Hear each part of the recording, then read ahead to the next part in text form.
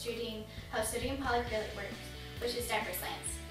Sodium polyacrylate is a super absorbing polymer that can absorb 300 times its own weight in water.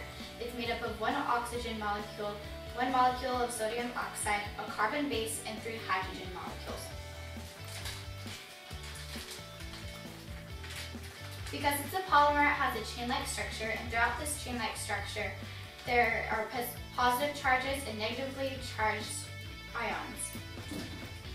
That is why the water gets absorbed by the polymer.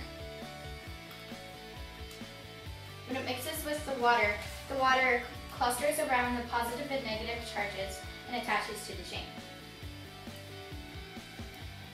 A simple chemical reaction right before your eyes. Salt, however, reverses the process.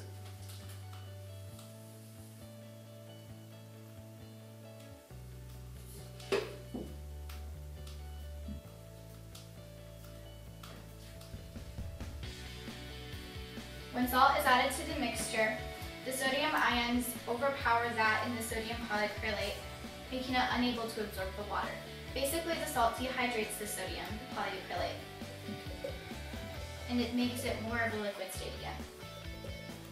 Sodium polyacrylate is used in everyday objects, from laundry detergent, diapers, gardening soil, hair products, and even NASA spacesuits. It makes our life easier in very many ways, and most of the time we don't even know it.